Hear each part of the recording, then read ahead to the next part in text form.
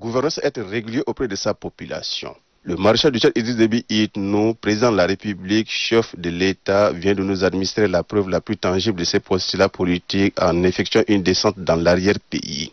Il est au contact de son peuple pour vivre les réalités et poser des actions qui améliorent le quotidien de sa population. La double cérémonie de lancement des deux grands projets de développement à Koumra, chef-lieu de la province de Mandoul, met en évidence cette réalité. Il s'agit du projet d'appui aux réfugiés et communautés d'accueil, de la pose de la première pierre de construction de l'axe Bédéa Moïsala et de plus de 400 km de pistes rurales.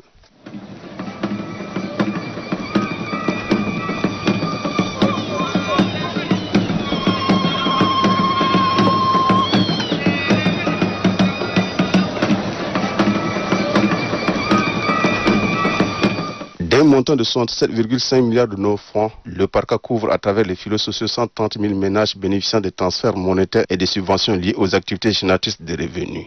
18 800 ménages sont concernés par ces projets dans la province de Mandoul.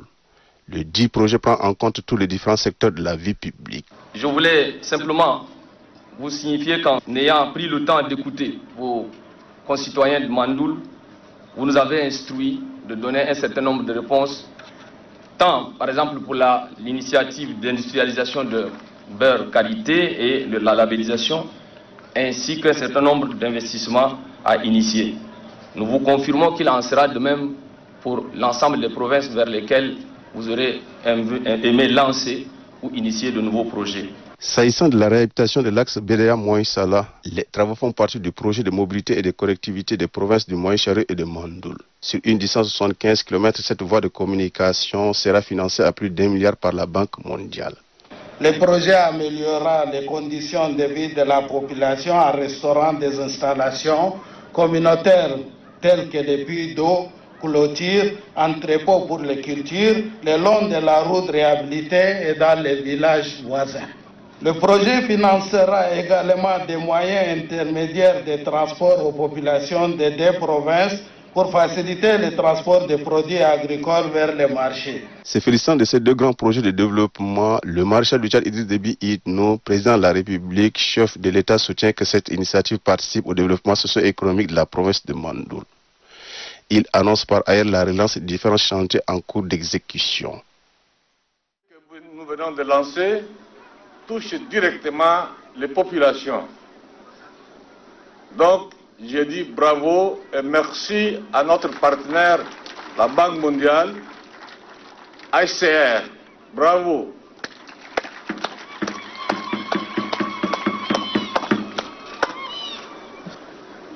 Je vous promets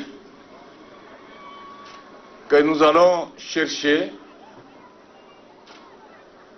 des financements le plus rapidement possible pour poser le pont de Moïsala.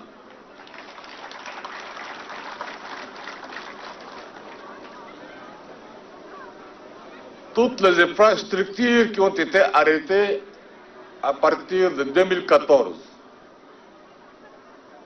que ce soit des écoles, des centres de santé, stades ou autres de la province de Mandoul vont reprendre.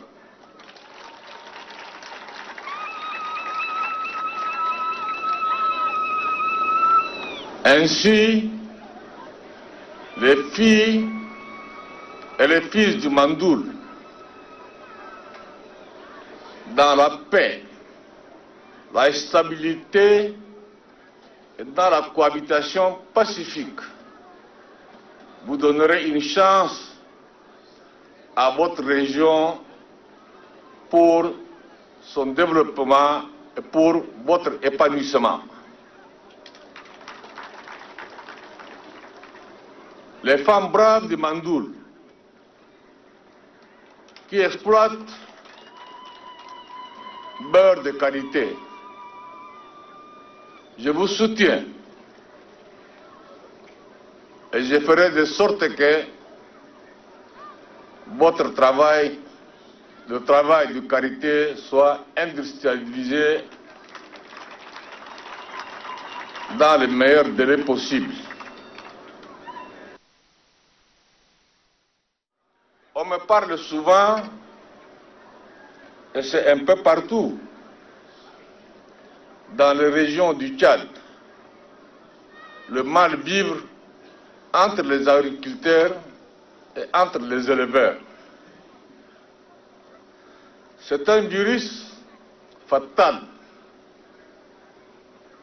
Priez Dieu pour que la paix actuelle et la stabilité actuelle de notre pays,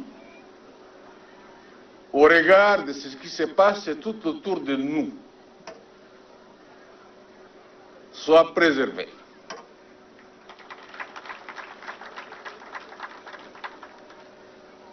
Agriculteurs, éleveurs, respectez-vous les uns et les autres.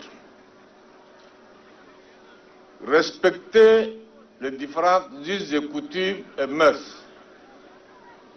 Ce qui fait notre richesse et notre identité. Cela ne doit pas être un élément de division ou de la discorde. Respecter la laïcité du Tchad, c'est une loi. Cela dit, j'ai une préoccupation. Votre province est le cœur de l'excision de la petite fille. Je m'adresse directement aux chefs traditionnels, aux chefs religieux, aux cadres de Mandoul, et particulièrement à nos sœurs et femmes exciseuses.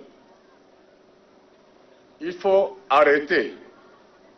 Il faut arrêter définitivement cette pratique de Moyen Âge.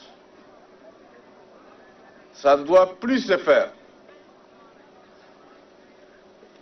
Il y a des lois. Les lois de la République interdisent cela. L'administration doit mettre en œuvre l'application de ces lois pour que ceux qui ne respectent pas, n'est-ce pas, les lois de la République soient traduits à la justice, qu'ils répondent de leur acte à la justice.